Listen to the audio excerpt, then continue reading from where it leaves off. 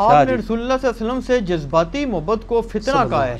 کیا صحابہ باللہ۔ کرام نبی صلی اللہ علیہ وسلم سے جذباتی محبت نہیں رکھتے تھے میں نے نبی علیہ السلام سے جذباتی محبت کو کہیں پہ بھی فتنہ نہیں کہا میں نے کہا تھا کہ انڈیا پاکستان بنگلہ دیش میں جذباتی فتنہ ہے کہ وہ جذبات کی بنیاد پہ چیزیں فالو کر رہے ہوتے ہیں علم کی بنیاد پہ نہیں اب مجھے یہ بتائیں کہ پہلے ہم نے یہ طے کرنا ہے کہ ہم نے جذبات پہ چلنا ہے یا علم پہ اگر کوئی کہتا ہے میں نے جذبات پہ چلنا ہے تو پھر میں اس کو علمی دلیل دوں گا۔ ابو دعود ترمزی ابن ماجہ میں حدیث ہے ایک شخص نے نبی علیہ السلام کو آ کے سجدہ کیا۔ اس نے کہا کہ میں کوفے کے پاس ہیرا نامی شہر میں گیا۔ وہاں پہ لوگ اپنے سردار کو سجدہ کرتے تھے۔ آپ تو اللہ کے رسول ہیں میں آپ تو زیادہ حقدار ہیں۔ آپ رسول بھی ہیں اور آپ ہمارے سردار بھی ہیں صلی اللہ علیہ وآلہ وسلم۔ جذباتی طور پہ بات ٹھیک تھی نا؟ جذباتی طور تو نبی علیہ السلام کو کہنا چاہیے تھا نا ٹھیک ہے کر لے۔ اب میں سر اٹھا، جب میں فوت ہو جاؤں گا تو میری قبر سے گزرے گا، کیا میری قبر پہ بھی سجدہ کرے گا؟ کہا، نہیں یا رسول اللہ تو فرمایا، پھر مجھے کیوں سجدہ کرتا ہے؟ اگر میں سجدہ جائز سمجھتا تو بیویوں کو کہتا کہ اپنے خامدوں کو سجدہ کریں، اس حق کے سبب جو اللہ نے ان کو دیا ہے۔ نبی علیہ السلام نے صحابی کے جذبات کی قدر کی، علمی بات کی، کتابی بات کی، بابی والی بات نہیں کی۔ نہ میں وابی، نہ میں بابی، میں ہوں مسلم، علمی کتابی علمی کتابی بات کی۔ اگر جذبات کی ڈاکٹرائن ہوتی تو اس صحابی نے بالکل ٹھیک کیا کہ اگر وہ اپنے سردار کو سجدہ کر رہے ہیں تو آ، ہم اپنے سردار کو سجدہ کیوں نہ کریں؟ آپ علیہ السلام نے اگنور کر دی، ٹھیک ہے؟ اس طرح کی کئی مثالیں، میں نے عمران خان صاحب والا جو کلپ ہے نا، اس میں میں نے اور بھی کئی مثالیں دی ہیں۔ آج وہ ٹائم نہیں ہے، میں چاہ رہا ہوں باقی سوال بھی کور ہو جائیں ہم جذباتیت کو مانتے ہیں علم کے دائرے کے اندر۔ علم سے اگر ہٹیں گے اس دے چلے نمبر لے گئے ہاں جی لے گئے دنیا جی لے گئے ویلا لے گئے نمبر لے گئے آخرت سیدھے دو زگی آپ- اچھا اور دوسرا میں آپ کو ایک دلیل بتاؤں۔ یہ صحابہ کی انہوں نے کہا نا صحابہ کی جذباتی ایفیلیشن تھی۔ اچھا۔ اس میں آپ کو مثال دیں گے صحیح بخاری سے۔ انہوں نے کیا دینی ہے؟ ہم دیتے ہیں کہ نبی علیہ السلام کے وضو کا مبارک پانی صحابہ گرنے نہیں دیتے تھے۔ بالکل ٹھیک ہے۔ یہ تو یہ مثال دیتے ہیں۔ یہ مثال ترمزی سے کیوں نہیں دیتے کہ انس ابن مالک کہتے ہیں کہ ہمیں ایسا شخص آتا تھا جو ہمیں سب سے بڑھ کر محبوب تھا، لیکن ہم اس کے استقبال کے لیے کھڑے نہیں ہوتے تھے، کیونکہ وہ اس کو ناپسند کرتے تھے اور وہ محمد رسول اللہ تھے، صلی اللہ علیہ وسلم۔ نبی علیہ السلام اپنے استقبال کے لیے صحابہ کو کھڑے نہیں ہونے دیتے تھے، اور صحابہ کھڑے بھی نہیں ہوتے تھے۔ جذبات پہ جاتے تو وہ کھڑے ہوتے، لیکن علمی بات کی انہوں نے۔ پھر حضرت ابو بکر کا جو پہلا خطبہ ہے وہ تو ہے ہی علمی ہے، جذبات کو تو جس کو کہتے ہیں نا، ان کے جو سو کالڈ جذبات ہیں، ان کا تو کچومر نکال دیا انہوں نے۔ یار، نبی علیہ السلام کی میت رکھی ہوئی ہے۔ صحابہ غمگین ہے ایسے غم میں حضور کے فضائل بیان ہونے چاہیے۔ یا یہ خطبہ ہونا چاہیے جو بخاری میں چار پانچ دفعہ ریپیٹ ہوا ہے۔ حضرت ابو بکر نے کیا خطبہ دیا ہے؟ کیا انہوں نے وہاں پہ یہ کچھ جذباتی کو شعر پڑھے ہیں نبی علیہ السلام کی شان میں؟ ممبر پہ آتے ہی پہلی بات کی، الا من یعبد محمدا فان محمد قد مات. اسی سٹائل میں کہا ہے تارا جمیسا والے سٹائل میں نہیں کہا؟ کیونکہ اس کا ترجمہ ہی ہے اللہ آگاہ ہو جاؤ، کان کھول کے سن لو. یہ پنجابی میں ٹرانسلیشن ہے اللہ کی۔ اب جس کو عربی نہیں آتی، اس نے تو کہنا نا انجینئر صاحب ترجمہ خود ہی کرتے ہیں۔ اللہ کان کھول کے سن لو، کنو کاٹ لو یہ گل۔ من کان یعبد محمدن جو کوئی محمد صلی اللہ علیہ وآلہ وسلم کی عبادت کرتا تھا، فَإِنَّ محمد قد مات۔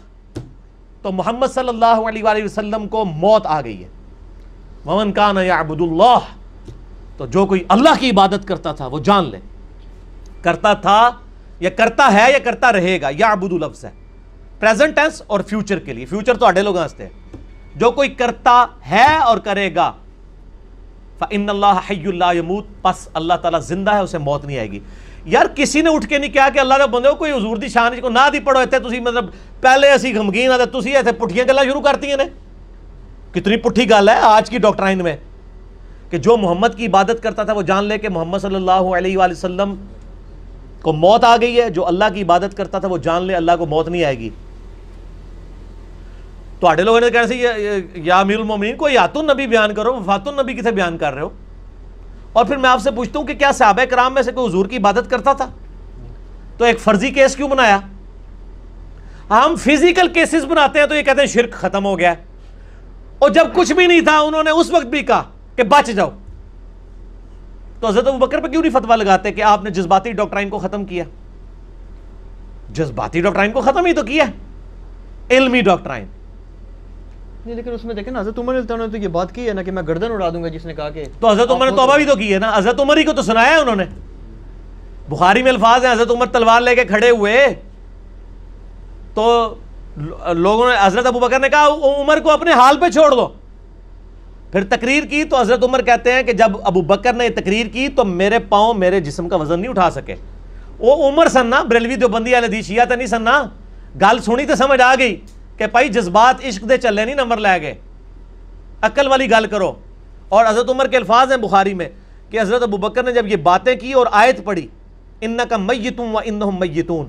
اے نبی، تمہیں بھی موت آنی ہے اور تمہارے مخالفین کو وہ کہتے ہیں، مجھے لگا یہ آیت نازل ہی آج ہوئی ہے۔ حالانکہ پہلے کی نازل تھی۔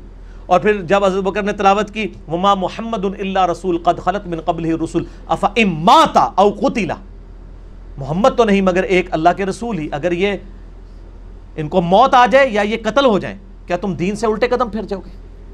آپ کے لوگ ہوتے تو کہتے ہیں اللہ جی اپنا ترجمہ چینج کرو، قرآن قتلا کیوں لفظ استعمال کیا؟ آپ لیں گے، یہ وصال فرما جائیں، یہ شہید شریف ہو جائیں۔ اللہ نے وصال شریف، شہید شریف لفظ نہیں کیا۔ افا اماتا او قتلا آپ کے ان مسلمانوں کی حالت ہے کہ آپ اس کا صحیح ترجمہ نہیں ان مسلمانوں کے سامنے کر سکتے۔ یہ تو ترجمہ ہی اس کا بدل دیتے ہیں۔ اگر نبی علیہ السلام فوت ہو جائیں، فوت کہاں سے لفظ ہے؟ فوت تو خود عربی کا لفظ ہے۔ ومن توفیتہ منا فتوفہ علی الایمان، اللہ نے تو نہیں کہا نبی فوت ہو جائے، افا اماتا او قتیلا۔ حالانکہ شہید بھی لفظ استعمال ہو سکتا تھا۔ اللہ تعالیٰ نے ہر وہ لفظ استعمال کیا جس سے شرک کی جڑ کٹ جائے۔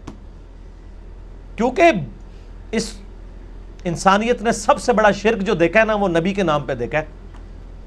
اور وہ عیسیٰ علیہ السلام ہے۔ بیکاٹن سن آف گاڈ لوگوں نے کہا ان کو۔ آج بھی پونے دو ارب عیسائی شرک کر رہے ہیں، حضرت عیسیٰ علیہ السلام کے نام پہ۔ یہ ہمارے ڈیڑھ ارب مسلمان، ڈیڑھ کے ڈیڑھ ارب لوگ مشرک ہو جاتے اگر نبی علیہ السلام نے اتنی سخت باتیں نہ کی ہوتی۔ بخاری کے حدیث ہے، دیکھنا میری شان کو اس طرح بلند نہ کرنا۔ جس طرح عیسائیوں نے اپنے پیغمبر کو ڈیونٹی میں کلیم کیا، میں اللہ کا بندہ اور اس کا رسول ہوں، مجھے اللہ کا بندہ اور اس کا رسول ہی کہنا۔ لیکن کہتے ہیں نہیں، کہتے ہیں ہم تو نہیں کہیں گے۔ ہم تو کہیں گے خدا کا پکڑا چھڑائے، محمد محمد کا پکڑا چھڑا کوئی نہیں سکتا۔ یہ کس کو دھمکی لگا رہے ہو آپ یہ شعر کہہ کے؟ اللہ کے ساتھ کمپیئر کر رہے ہو نا؟ خدا کا پکڑا چھڑائے، محمد محمد کا پکڑا چھڑا کوئی نہیں سکتا۔ یا تو اس کے ساتھ ایڈ کریں کہ محمد کا پکڑا چھڑا کوئی نہیں سکتا سوائے خدا کے۔ تو میں آپ کے ساتھ ہو جاؤں۔ اور بیسیکلی یہی چاہ رہے ہوتے ہیں یہ۔ کہ نہیں جی نہیں، یہ تو خود مفتی منیب الرحمان صاحب سے میری ملاقات ہوئی بائیس مارچ دو ہزار سات کو۔ تو مجھے مفتی صاحب نے one two one forty five minute میری ڈسکشن ہوئی۔ مجھے کہتے ہیں میں تو خود بریلویوں کی محفل ناتوں سے تنگ آ گیا ہوں۔ شرکیہ شعر پڑھتے ہیں۔ میں نے کہا، واہ جی واہ۔ میں نے کہا، کون سا؟ کہتے ہیں، یہ جو شعر ہے، خدا کا پکڑا چھڑائے، محمد محمد کا پکڑا چھڑا کوئی نہیں سکتا۔ یہ کس کو دھمکیاں لگا رہے ہیں؟ یہ مفتی منیف صاحب نے کہا، یہ شرکیہ اور کفریہ شعر ہے۔ یہ میں بریلویوں کو اس لیے بتا رہا ہوں کہ ان کے عالم نے کہا ہے۔ اور پھر کہتا ہے یہ نعتیں پڑھ رہے ہوتے ہیں کہ مجھے موت کا ڈر نہ سناؤ، قبر میں تو حضور تشریف لائیں گے۔ ٹھیک ہے، مجھے نہ بتاؤ موت اتنی سخت ہے، قبر میں عذاب ہے، مجھے یہ نہ سناؤ۔ یہ کہتے ہیں یہ کفریات کرتے ہیں۔ یہ قبر کا عذاب کس نے سنایا ہے؟ اللہ کے نبی خود ہی تو سنا کے گئے تو یہ نبی کو کہہ رہے ہیں کہ ہمیں نہ بتاؤ قبر میں کیڑے آئیں گے۔ اگر ایک وائس ممبر پہ چڑھ کے کہتا ہے کہ آخرت کی قبر کی تیاری کرو ورنہ کیڑے کھائیں گے، تو یہ اس نے گھر بیٹھ کے بات بتائی ہے۔ یہ کس نے بتائی ہے اس کو؟ نبی صلی اللہ علیہ وآلہ وسلم نے۔ تو یہ پھر نبی کو آپ کہہ رہے ہو کہ ہمیں نہ بتاؤ کہ قبر میں کیڑے آئیں گے، یہ ہم سے یہ باتیں نہ کرو۔ یہ باتیں کون کر کے گیا؟ نبی علیہ السلام۔ تو یہ کس کو دھمکیاں لگا رہے ہیں؟ نبی کو۔ گستاخی ہے۔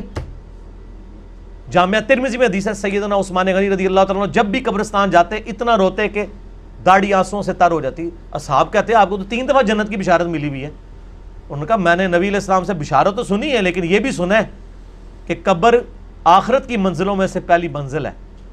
جو اس میں پھنس گیا، اس کی اگلی منزلیں مشکل در مشکل ہو جائیں گی اور جو اس میں نکل گیا، اگلی آسان ہو جائیں گی۔ یار، حضرت عمر تو یہ، حضرت عثمان تو یہ مطلب لے رہے ہیں۔ اور یہ ہمیں کہتے ہیں، نہیں نہیں نہیں نہیں جناب، ہم تو قبر میں تو یہ ہو جائے گا تو وہ ہو جائے گا، ہمیں عذاب کی باتیں نہ سناؤ۔ حضرت عثمان کو نہیں باتیں پتہ تھی اور یہ سارے بابی ہیں، کتابی بڑھو نہ میں وابی، نہ میں بابی، میں ہوں مسلم، علمی کتابی۔ ٹھیک ہو گیا؟